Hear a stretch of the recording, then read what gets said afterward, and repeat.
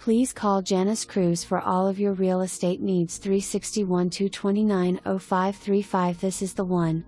You will love all the updates and charm this home has split open floor plan, granite kitchen countertops, sink in garage, great size yard, and so much efficiency throughout.